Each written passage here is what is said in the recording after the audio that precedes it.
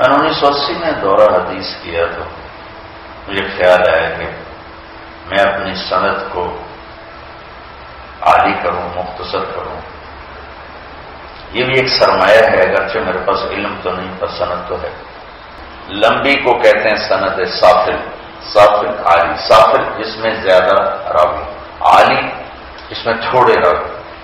تو ہمارے اس وقت پاکستان میں مولانا زید گل صاحب رحمت اللہ علیہ زندہ تھے۔ انہوں نے ایکسٹراڈنری زندگی پائی، سو برس سے زیادہ زندہ رہے۔ وہ شیخ الہند مولانا محمود الحسن صاحب کے براہ راست شاگرد اور میں نے بخاری شریف پڑھی تھی مولانا محمد عبداللہ صاحب سے، انہوں نے مولانا خیر محمد صاحب سے، انہوں نے مولانا یاسین صاحب سے، اور انہوں نے شیخ الہند سے۔ تو اس طرح تین واسطے تھے۔ لیکن اگر مولانا جارگل صاحب سے مل جاتا ہے سلسلہ تو دو واسطے کام ہوتے تو دورے سے فارغ ہو کر میں نے تیار کیا دو ساتھیوں کو اپنے ساتھ۔ وہ ادھر ہی کے تھے۔ میں نے کہا، تم تو ادھر ہی جانا ہے۔ تم نے میرے ساتھ چلو۔ سفا کوٹ ایک جگہ تھی۔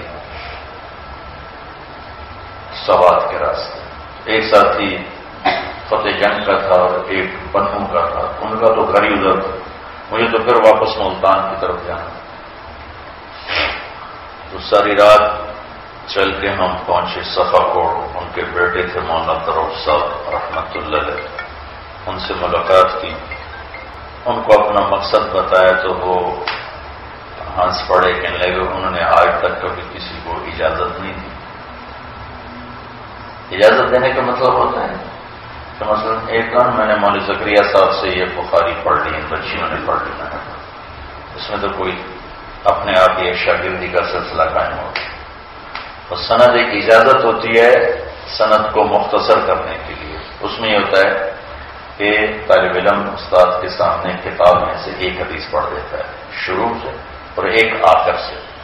تو وہ ان کا شاگرد بن جاتا ہے اور ساری کتاب کا ان کے ساتھ سلسلہ جڑ جاتا ہے۔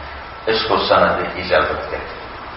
تو انہوں نے، ان کے بیٹے نے فرمایا کہ انہوں نے آج تک کبھی کسی کو اجازت نہیں اور حضرت مدنی رحمت اللہ علیہ اور وہ کٹھے پڑھتے تھے۔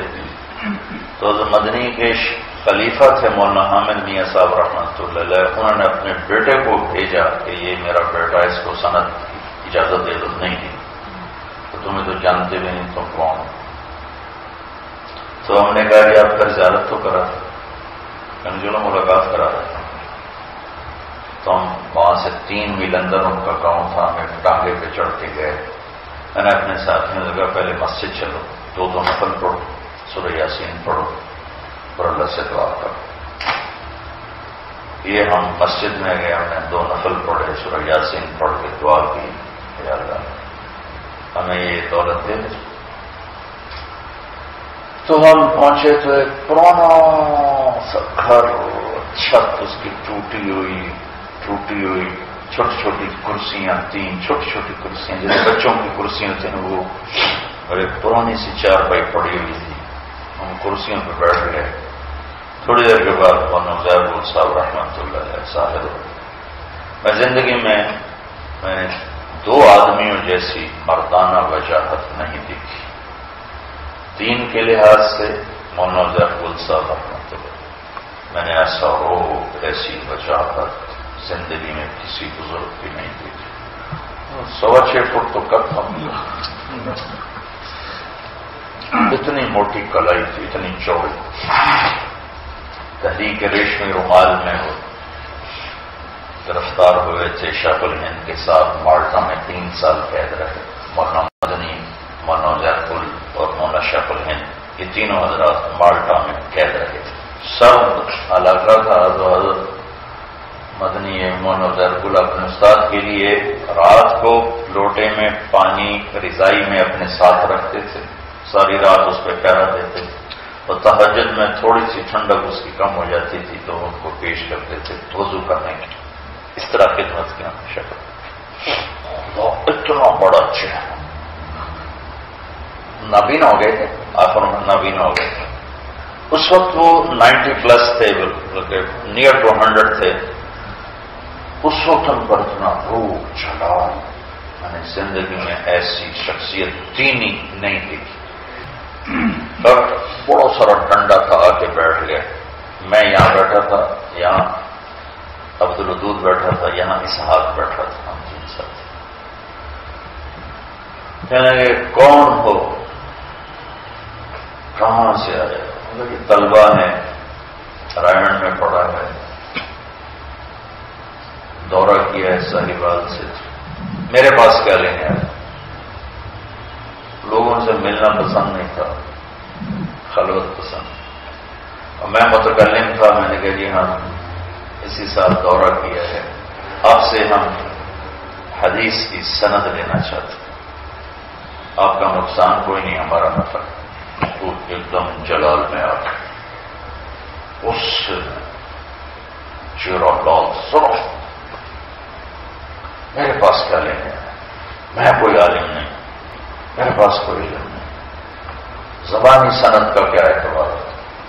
وہ ہمارے اوپر تو ایسا روپ تاری ہوا کہ کوئی راستہ ملے نا بس پکڑ ایسا روپ تاری۔ ان کے بیٹے کھڑے تھے، دیکھ رہے تھے منظر۔ تو انہوں نے پھر ایسے ہونٹوں پہ انگلی رکھ کے یوں کیا کہ اب نہیں بولنا۔ تھوڑی دیر سناٹا رہا۔ میرے ساتھیوں نے مجھے اشارہ کیا، بولو، یوں ہاتھوں سے۔ ایک انگلی ہونٹوں پہ رکھ کے گئے بولا نہیں، دوسرے کہیں بولو۔ میں نے کہا، چلو، ایک دو ڈنڈے ہیں کھانے میں نے کہا، حضرت بے شک زبانی اجازت کا اعتبار نہیں ہوتا، لیکن ہم کتاب صاف لائے ہیں اگر آپ پسند فرمائے تو کچھ پڑھ کے سنا دیں۔ اس کے بعد آپ کو اچھا لگے تو ہمیں اجازت دے دیں۔ نہ لگے اچھا تو کوئی نہیں، ہم آپ کے سامنے حدیث پڑھیں گے، یہی ہمارے لیے بہت بڑی بات ہے۔ تو جو ڈنڈا انہوں نے یہاں رکھا ہوا تھا، یہاں ڈنڈا وہ ڈنڈا ایسے ماتھے پہ رکھ لیا۔ گہری سوچ میں چلے۔ ایک طرف ہماری دعا لڑ رہی تھی اور ایک طرف ان کا مزاج لڑ رہا تھا۔ تو انہوں نے آج تک کبھی کسی کو اجازت دی ہی نہیں۔ مفتی تک ہی ساتھ ایسی ہستی کو نہیں دی تھی۔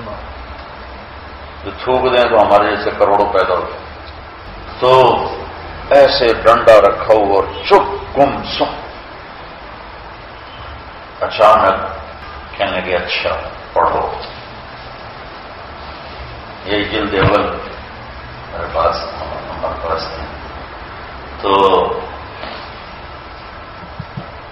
میں نے کیونکہ مولانا زید گل صاحب کے سامنے وہ پڑھی تھی، آج میں بچیوں کے سامنے بھی پڑھنا چاہتا ہوں۔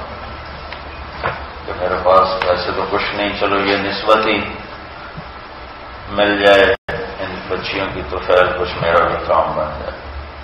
باب کئی فقان ابد الوحی الى رسول اللہ صلی اللہ تعالی علیہ وسلم؟ مقول اللہ عز وجل انا اوحینا الیک کما اوحینا الى نوح والنبيين من بعده وبه قال، حدثنا الحميدي قال، حدثنا سفيان قال، حدثنا يحيى بن سعيد الأنصاري قال، أخبرني محمد بن إبراهيم التيمي أنه سمع علقمة بن وقاص الليثي يقول سمعت عمر بن الخطاب رضي الله عنه المنبر يقول سمعت رسول الله صلى الله عليه وسلم يقول إنما الأعمال بالنيات وإنما لمرء ما نوى فمن كانت هجرته إلى دنيا يصيبها أو إلى امرأة ينكحها فهجرته إلى ما هاجر إليه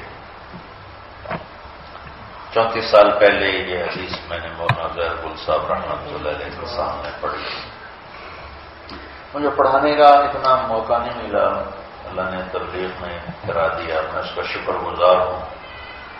البتہ اگر مجھے کبھی کسی چیز کی کمی محسوس ہوئی تو اس مجلس کی میرے اندر میں میرے علم کا ذوق، شوق، پڑھنا پڑھانا میرا ذوق تھا۔ تبلیغ میرا ذوق نہیں تھا۔ پڑھنا پڑھانا اللہ تعالیٰ عبداللہ صاحب کی زندگی میں برکت ہے انہوں نے کام سے پکڑ کے کہا کہ پڑھانا نہیں، چلو۔ تو میں ان کو دعائیں دیتا ہوں، ان کی برکت سے آج میں یہاں بیٹھا ہوں۔ ورنہ میں کسی مدرسے میں شیخ الحدیث ہوتا اور اس سے زیادہ میں نے کیا ہونا تو اللہ تعالیٰ نے ان مجالس سے میں دور ہوا، لیکن اللہ تعالیٰ نے اپنا فضل فرمایا، میری آواز کو ساری دنیا میں پہنچا دیا۔ یہ اس کا احسان ہے، کرم۔ پھر دوسری حدیث، دوسرے بچے، دوسرے ساتھی نے پڑھی، تیسری، تیسرے نے پڑھی تو پھر اس کے بعد طریقہ ہوتا ہے کہ آخر میں جیسے میں نے ابھی یہ ہے، اس کو کیا جیسے یہ آخر میں پڑھا تو میں نے اس ہاتھ سے کتاب لے کر ایسے ورق الٹائے، یوں کہ میں آخر میں پڑھوں، یہ تین حدیثیں آخر سے پڑھنی۔ تو انہوں نے ورق الٹنے کی آواز سن لی۔ تو فرمانا لگے بس بس، کافی کافی۔ میں تم تینوں کو اجازت دیتا ہوں۔ لیکن میری ایک درخواست ہے کہ کسی کو بتانا نہیں۔ میں نے آج تک کبھی کسی کو اجازت نہیں دی۔ تم پہلے بچے ہو جن کو میں اجازت دیتا ہوں۔